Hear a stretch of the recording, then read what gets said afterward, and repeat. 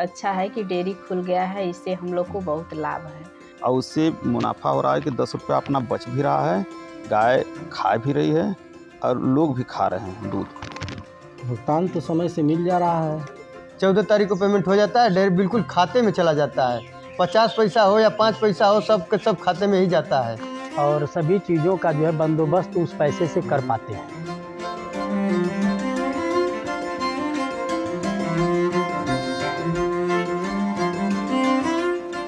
उत्तर प्रदेश में चंदौली ज़िला मुख्यालय से 25 किलोमीटर पूर्व एक छोटा सा गाँव है, मानिकपुर सानी। इस गाँव में पशुपालक किसानों के जीवन में दूध डेयरी सकारात्मक बदलाव की इबारत लिख रही है। गाँव में डेयरी के खुल जाने से ग्रामीणों को घर बैठे रोज़गार के अवसर मिल रहे हैं।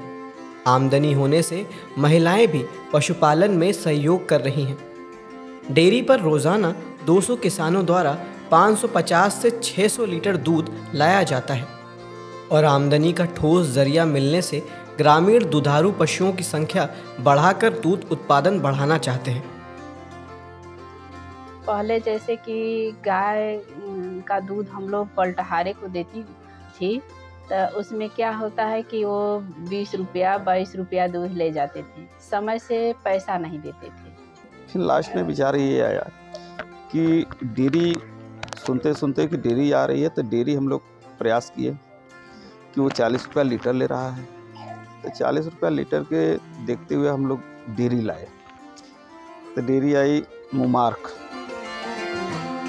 दूध ए, डेयरी में चालीस रुपया लीटर जा रहा है और समय से पैसा भी मिल रहा है खाते में आ रहा है।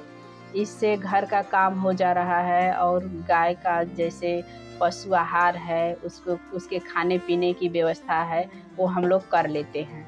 जो पशुपालक हैं उनके लिए डॉक्टरों की चौबीसों घंटा व्यवस्था है जो कि उनकी अच्छी से ट्रीटमेंट कम फ़ीस में की जाती है। पहले जो गाय दो तीन लीटर देती थी वो लगभग अब राशन मैन राशन बैलेंसिंग और फार्म मैनेजमेंट जो है और मिनरल पाउडर वगैरह समय से डिवार्मिंग करवाना ये सारी चीज़ों की वजह से मतलब जो तीन लीटर वाली है वो पाँच लीटर पर चली गई है। मतलब जो बहुत जल्दी एक ए- एक टाइम हो जाती थी वो मतलब डबल मतलब दोनों टाइम मतलब जा काफ़ी समय तक चल रही है। यहाँ देने पर पशु को जो है पालन या खरी बाटूर आने पर लड़की लड़कों को जो है पढ़ाने लिखाने में या काम में बाटूर काम दे रहा है। और ये देखते हुए कि मतलब जैसे जो लोग बाहर कमाने कमाने के लिए दौड़ते थे आज डेयरी के आ जाने की वजह से अब घर पर ही मतलब अपना पशुपालन करके अपना कमाई कर ले रहे हैं। कोरोना के समय, उस समय आ गए घर हम। और वहाँ के आने, यहाँ से, वहाँ से आने के बाद यहाँ देखें कि हमारे गाँव में डेयरी खुल गया था।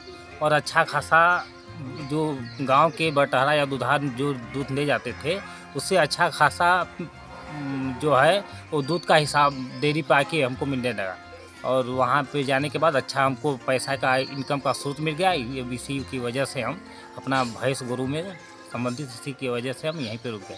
पालकों को दूध की व्यवसाय बढ़ाने के लिए लोन की व्यवस्था की गई है जो आसान प्रक्रिया में दी जाती है जिससे वो अपना दूध बढ़ा सकते हैं और अपनी इनकम भी बढ़ा सकते हैं। समय समय पर जो खाद बीज और और चीज़ें की किसानी में हमें आवश्यकता पड़ती है तो ये दूध के पैसे से हम समय समय पर खाद, बीज, कीटनाशक और सभी चीज़ों का जो है बंदोबस्त उस पैसे से कर पाते हैं।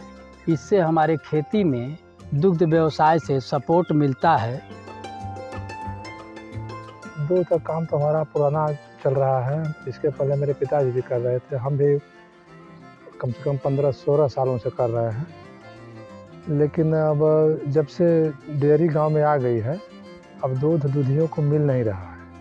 अब दूध जब नहीं मिलेगा गाँव से कलेक्शन नहीं हो पाएगा तो कितना दूध अपने यहाँ उत्पादन करके देंगे? कोई अन्य काम के बारे में सोचना पड़ेगा, क्योंकि अब ये चलने वाला है नहीं।